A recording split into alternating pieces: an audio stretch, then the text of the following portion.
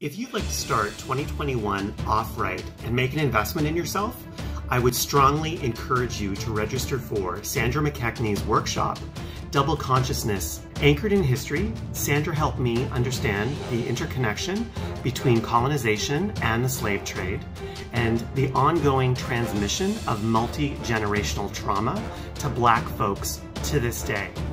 I truly know who I am. I love my blackness. Double consciousness has changed my life. You've got to register.